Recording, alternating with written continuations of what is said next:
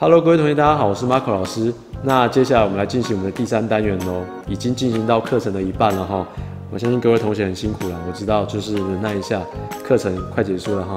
那一样，在进行完这个单元的课程说明跟讲解之后呢，我们还是会进行一个简单的一个小测试、小测验、小测验哈。那这个测验我们主要的重点是要谈什么呢？我们这个单元主要就是要谈的就是脑力激荡法的一个操作。那同学在这个阶段在做测试的时候，我们会里面探讨很多脑力激荡法的一个测验。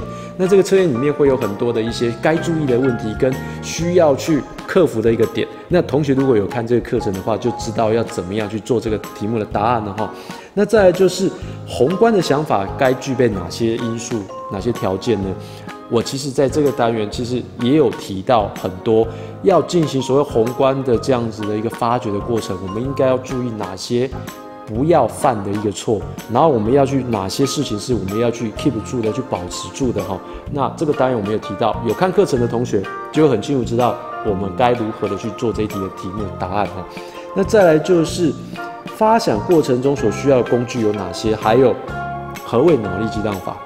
其实这个单元在探讨就是脑力激荡法的操作，以及如何透过我们的黄色便利贴搭配着我们的这个脑力激荡法这样子的一个思考模式，我们怎么样去产出不错的创意？那在执行脑力激荡法的时候，我们在小组团队里面该注意的点在哪里？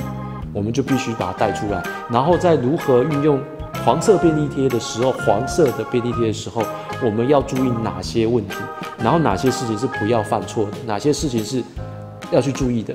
那这个阶段其实，这个第三单元在探讨脑力激荡法的时候，就是一个很天马行空的，它没有任何拘束，没有任何的答案，也不要因为有任何的呃阻碍或者是任何的谩骂批评，然后就停止你自己的想法。OK，所以这个单元其实在探讨重点就是 brainstorming 的操作。